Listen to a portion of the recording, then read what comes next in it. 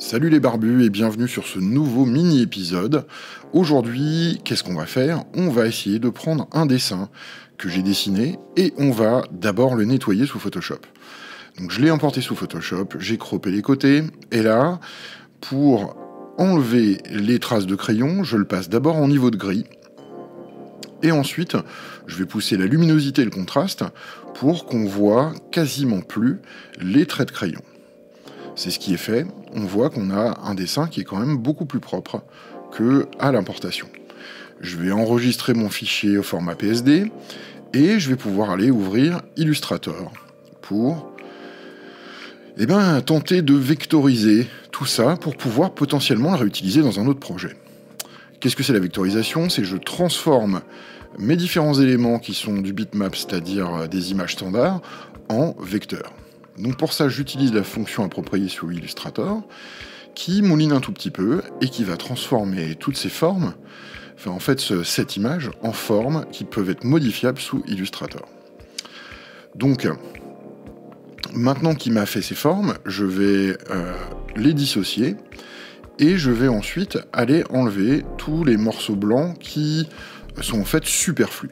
Ce que je veux, c'est simplement euh, les morceaux noirs et ensuite différentes formes à droite à gauche. Donc je vais prendre tous les morceaux blancs euh, sur, mon, dessin et je vais les supprimer.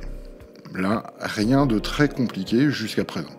Vous avez vu, c'est relativement simple. J'ai laissé faire le programme et le résultat n'est pas parfait, mais il est plutôt euh, cohérent et il est suffisant par rapport à mes besoins. Je prends donc tous les éléments qui sont blancs et je les supprime. Je vais aussi justement aller voir, je mets mon fond en noir pour aller chercher les derniers éléments blancs. Et maintenant, ce que je vais faire, c'est que je vais recréer un fond blanc qui correspond vraiment à la forme.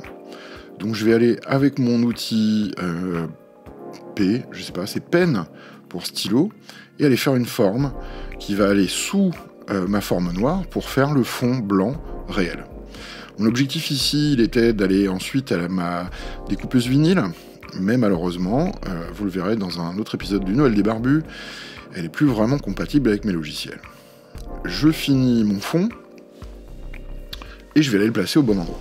Alors, comme vous allez certainement le voir, les spécialistes d'Illustrator vont sans doute se tirer les cheveux et s'arracher plein de choses à droite à gauche. Je suis vraiment pas un spécialiste. Euh, Illustrator, euh, et c'est un bon exemple. Je viens sans faire exprès de supprimer la forme principale que je n'arrive pas à récupérer.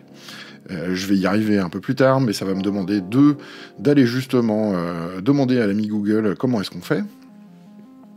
Et ça n'a rien de dramatique. Mon objectif est simplement de passer d'un dessin que j'ai fait, qui m'a pris, euh, je sais pas, une petite demi-heure ou une heure euh, à réaliser, à justement un dessin propre et ensuite à un modèle qui soit utilisable sous Illustrator.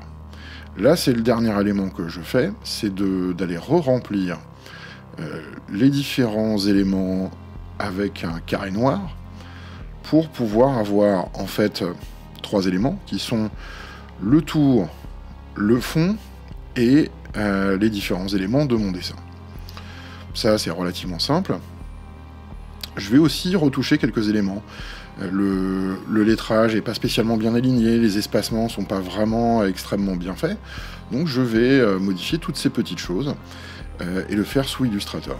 Et voilà, ça m'a pris une petite demi-heure et ça m'a permis d'avoir un modèle exploitable J'espère que cet épisode vous plaira ou vous aidera. Euh, à très bientôt, que la barbitude soit avec vous, et à bientôt